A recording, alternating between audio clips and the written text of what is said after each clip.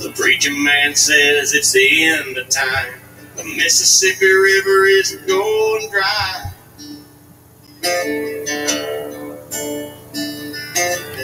The interest is up, the stock market's down. You only get mug if you go downtown. All right, so I'm going to give this another try here and see how it goes. I tried this the other day and uh, the audio never recorded, and I'm to assume that's my fault. I can't rightly blame it on anybody else, right? It's my fault. It didn't record, so I'm to give it a go. Uh, first uh, comment here you got some knowledge on the crystalgram like IHS or XPS. Thanks for your work. Uh, I don't know anything about crystallograms. From what I understand, IHS is uh, a, the Greek, the first three letters of the Greek word Jesus, and XPS would be the first three letters of the Greek word Christ. I'm not sure that's if I'm I might be mis, misinformed. I'm not sure, but what what I don't understand is okay. So why why abbreviate the name Jesus? I mean, if it was the Lord Supercalifragilisticexpialidocious, I would say yeah. Let's abbreviate that because you know after a while, uh, you know let's a, let's find something a little bit shorter. But we're talking about Jesus. What's the need to abbreviate Jesus? IHS is more syllables than Jesus. I don't understand any of it, but it is a Catholic thing, so I don't really. That's probably why I don't care. I don't know anything about that stuff, but I do appreciate the the question comment. And here we go. Uh, truth sets you free. He's asked me this a couple times, and I've tried to answer this. I'll try it one more time, and I'll try to be blunt about it. What do you think about the thing they want you to get? All right, so the thing is the coronavirus COVID 19 vaccine. All right, so what do I think about it? Well, I was asked this the other day, and I was asked by somebody in my family. They and they said, they said, "Have you gotten the vaccine yet?" I'm like, yeah, yeah. Have I gotten it yet? As if I was gonna get it, but I just haven't. You know, I've been had all this paperwork and stuff I had to do, and you know, I got some clothes I need to fold, and I just ain't got around to it. And you know, I got I got to you know rake the yard, and I just ain't got time. Just so doggone busy. I ain't got time to get the vaccine. No, that's not. That's not how it is with me if you have to ask me that question, you don't know me at all. Have I gotten it yet? No, I haven't gotten it yet. And the only way I'm going to get it is if they come to my house, they chop off my head, and then they stick the needle in my arm. That's the only way. Excuse me. Now, if somebody else wants to get it, I'm not going to condemn them for it. That's just how I feel, right? It's your body, your choice, whatever you want to do. That's your business, right? It's not my business if you want to get it, and I don't condemn anybody for it. I mean, if you want to wear a mask while you're driving down the road in your own vehicle and nobody else is in the vehicle with you, that's okay. That's all right. I mean, yeah, I might snicker, but maybe you're snickering at me. What do I know? Right? Who cares? It's your body, your choice right? It's your business, so it's not my business. So that's my opinion. I don't, uh, you know, condemn anybody for getting it. I'm not going to get it. Period. I don't come hell or high water. I ain't getting it. I'm all in, not getting it. And I'm curious. Uh, it, I mean, it, it, to me, people. There was also another uh, gentleman a while back that asked me, uh, and I explained it to him this way. I said, "Look, you know, when I was growing up, when I was a kid, I was, uh, you know, I smoked marijuana, I did cocaine, I did LSD, I did crystal methamphetamine, But never once did I stick a needle in my arm. You know, now that I'm 50 and I don't do any of that, so I'm not about to begin now. I'm not about to start putting needles in my arms. And he didn't take that very well. And uh, so uh, things got weird after that. But that's just my viewpoint. I'm not doing it, period. Uh, you know, okay, so let's look at a couple of things here. Might as well get into this. Just it, this is just going to be another minute. I didn't want to spend too much time on here. So, uh, for example, I don't know how to spell, right?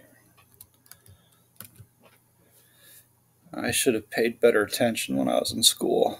All right, so here we got three examples of Jesus saying, They that be whole need not a physician, but they that are sick. So if you're not sick, why are you going to see a physician? So uh, unless it's an absolute emergency and people are dragging me to the hospital, I'm not going to the hospital. I just imagine this crazy scenario where hospitals are now designed to make you sick, to keep you sick, and then they have the power uh, of choice of whether you live or die. and they can all do it under the, the disguise of, uh, excuse me, coronavirus or, you know, say, um, you know, cancer, those sorts of things. And they could start uh, hooking you up to machines and they can start giving you medications and they can start you know, doing all these sorts of weird things on you. Uh, yeah, I mean, how how would I know? I don't know what they're doing. I really don't know what they're doing. If I'm sick, if I get the flu, all I need is some chicken noodle soup and a 7 up and I'm good, right? Get me a lifetime movie and I'm set. I'm all be okay. You know, uh, I just I just don't trust anything that's I don't trust none of it. That's just me though. If you want to go put all your faith and trust in those hospitals, okay, that's that's on you. That's I'm not going to condemn you for it. That's not how I am, and I'm not. I don't care. I don't care. I'll I'll be the first one that dies of uh, you know. I'll be dead of uh, in my own home of uh, the coronavirus and cancer and lupus and AIDS and all that all at the same time. I'm not getting treatments for it. Period all I need is a bottle of aspirin. And like I said, uh, you know, some chicken noodle soup and uh, 7 Up, and I'm, I got all the healing stuff that I need. That's just me. I'm different than probably everybody in the world. That's just how, that's my opinion, right? Let's see, what was that one verse I wanted to share here? Oh, medicine's only used four times in the entire Bible. That's interesting. Okay. okay go. Let's see. Jeremiah 46 Go up into Gilead and take balm, O virgin, the daughter of Egypt. In vain shalt thou use many medicines, for thou shalt not be cured. Without getting into the context of that, I think that statement or that verse is uh, pretty remarkable, in my opinion. In vain shalt Thou use many medicines, for thou shalt not be cured. Think about all the medicines that those doctors want to give you. All right, so it's your choice, and you know better than I do. For me, the only medicine I use is aspirin, the old kind, not the new kind, the old kind, the cheap kind, right? Uh, I don't know what they're he what you know what these medicines today what they're doing so I I'm not I don't want you know whatever. I'm I'm gonna die at an early age. Okay, that's all right. At least I believe in Jesus Christ. I'll be okay. I'm just not putting any trust in those doctors and those medications, none at all. All right. So that's just my thought. That's just my opinion. Um, and I guess I'll leave you with one one other thing here. If we go, if I what is it? Genesis three Let's see if I can remember something this morning. Now the serpent was more subtle than any beast of the field which the Lord God had made. And he said unto the woman, Yea, has God said, Ye shall not eat of every tree of the garden. So now the serpent was more subtle than any beast of the field. More subtle than any beast of the field. All right, so if we went to, uh, uh, I don't know, can I? Let me think about this a second. Uh, I can't think of. No, no, I remember. Hold on, hold on. All right, just curious about something here. I don't know if you seen these guys on the side of hospitals and on the sides of ambulances, and um, it's the staff of Hermes. All right, so I, I gotta tell you what, some people really got mad at me years ago when I talked about this stuff. Uh, you know, I'm not gonna find the images that I want. There's one right there. All right, so you've seen these. You've seen these. Um, if you notice there, right, you've got you got a snake right there. You got a snake that is on all these hospitals and all these ambulances. Why? Why? I, the explanation I was given, well, it's the you know it's a Greek religion thing, you know, old old thing, old Greek thing or something or what have you. I don't know. I don't remember. It doesn't matter. It, it's not a Christian thing. Right? So why are you worshiping other you know religions that nobody else is I mean this is America. Who in the world is worshiping this imaginary religion or this at very best old time religion? And we're Christians and in the Christian religion. I mean, we're America, right? Land of the free, home of the brave. Uh, thank God for America, right?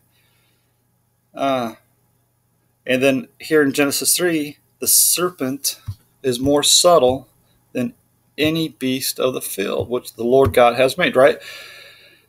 So, to me, I'm awfully suspicious of anything with a snake on it. I don't like snakes, never liked them, all right? So, that's just my opinion. I don't care for snakes, don't like them. And now I want to leave you with this. Think about this for a second. In the very beginning, when the serpent was in the garden, all right, and so he introduced Adam and Eve to uh, basically sin. Uh, so, because he tricked Eve into eating from the tree of knowledge of good and evil. All right, so that was the first strike, the first attack on man. And then I believe the final strike on mankind will be the serpent's bite. Right? So what are what are the snakes most feared for. It's a snake bite. And people, you know, are obviously, uh, uh, for me, I don't want a snake to bite me, poisonous or not poisonous, but if a poisonous snake bites you, he can get you. Right? And it's very dangerous uh, in particular uh, certain parts of the country. So that's just brilliant. Guy biting a snake. So the point is that I my opinion is the final strike on mankind will be the snake trying to bite us. Uh, in other words, the snake is going to try to sink his teeth into the skin of man via vaccines.